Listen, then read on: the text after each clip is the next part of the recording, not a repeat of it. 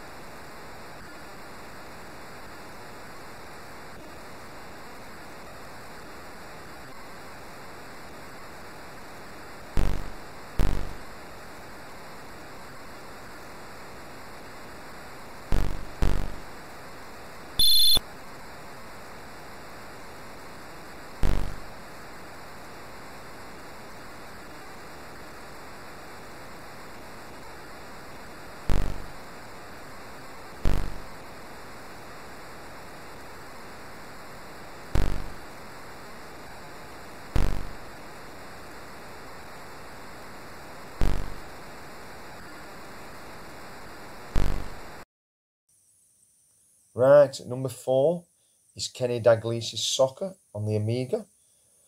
Right, on this, all you can do is play single matches between a team in red and a team in blue, which must be at least 10 minutes long. It's slow, clumsy, empty, and completely lacking atmosphere. With checking out just for the sheer comedy value. Let's take a look.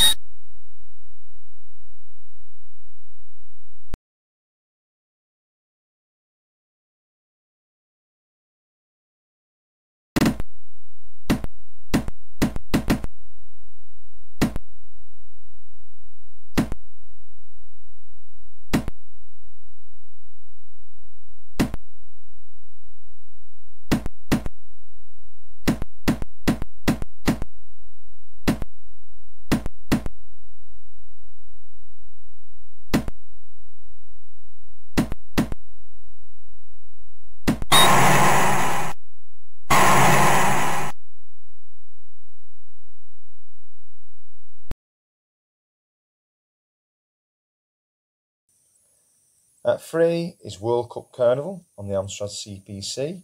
And the truth is that this is little more than a reissue of Artic's Asian World Cup game.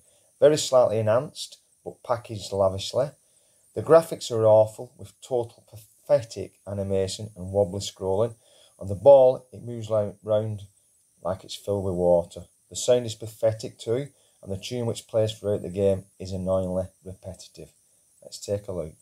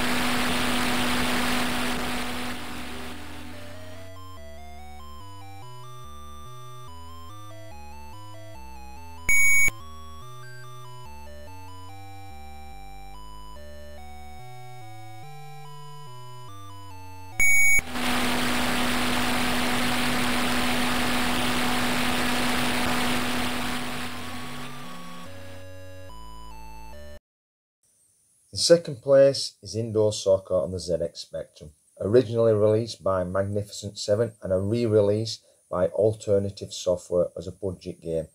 All I'm saying is there are a lot of games out there that they could have re-released, so I'm thinking there was an April Fool's special because this game is a joke. Here we go, let's have a look.